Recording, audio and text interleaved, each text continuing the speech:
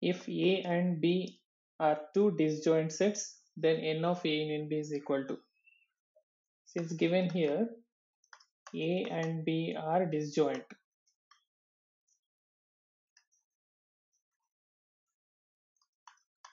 If the two sets are disjoint then we can say A intersection B is non-empty. And hence we can write n of A union B is equal to n of A plus n of B minus n of A intersection B.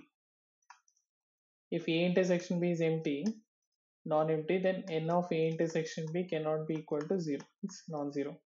But in the case of joint sets, in the case of joint sets, we can write n of A intersection B is equal to 0 and hence the formula becomes n of A union B is equal to n of A plus n of B.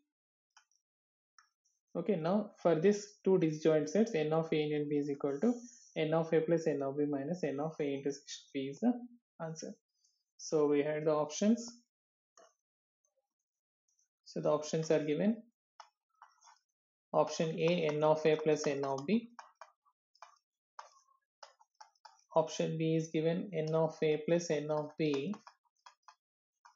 minus n of A intersection B and option C is given n of A plus n of B plus n of A intersection B and option D is given n of A into n of B.